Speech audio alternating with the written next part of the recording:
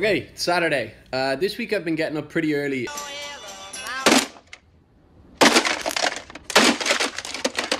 And getting an hour or two in the Fab Lab before work each day. So I've mostly been focusing on 3D printing uh, some of the new designs for the chair before I go full scale with any of them. So I'll get up, I'll bike in to the Fab Lab. I'll uh, start a 3D print. Then I'll head to work and at lunchtime I'll bike back and I'll pick that 3D print up. Then I'll start another one, go back to work, bike back to the Fab Lab after work and then pick up the 3D print.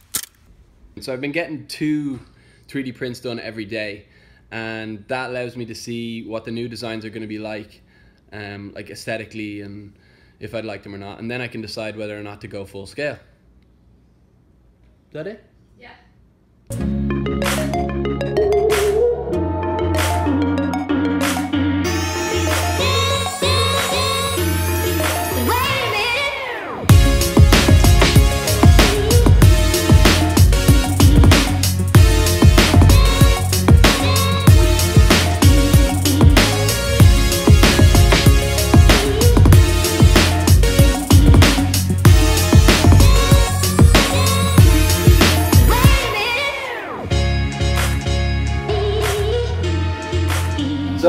Anyone who's uh, been watching the, the vlog so far and hasn't seen the original chair, this is this is it.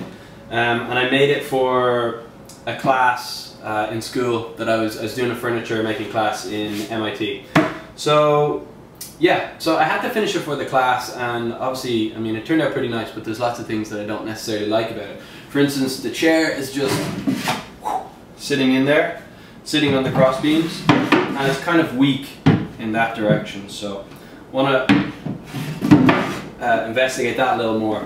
And if you look at the feet here, um, I've used mild steel, which I bent with a rosebud torch, and I bent them, I bent it around into this U shape to uh, clamp to the bow or to hold the bows together.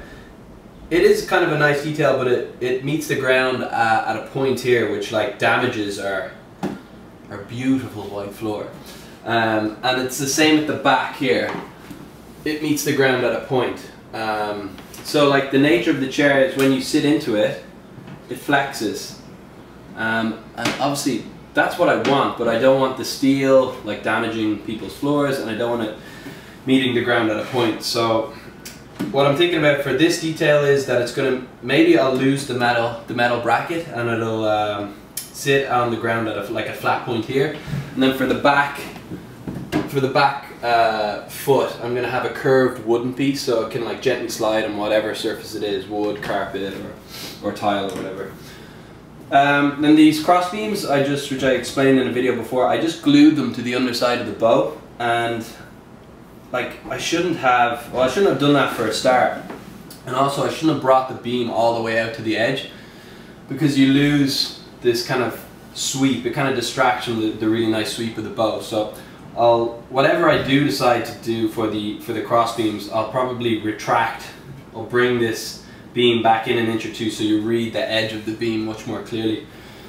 Um, yeah, that's it. So I've been like 3D printing little models this week to test out different shapes for the bow. Um, I'm going to do this original shape, I'm going to do smaller shapes. Um, and yeah, I think, I think that's it. Ding! Okay, when you get your 3D prints back, they come with this kind of uh, border around them and it's called a brim. And the reason why it does that is it kind of serves as a platform for the print to adhere to the base. So if you printed them kind of like this without the brim, as the plastic, as the PLA is being laid down uh, and it cools, it tends to contract and the print will warp. So this little uh, border kind of sticks to the bed of the 3D printer and it keeps the print flat but it's kind of annoying because then you have to uh, like peel it off and you have to like kind of sand the edge of the of the print to get it perfect. Uh, but that's what I'm gonna do now. Good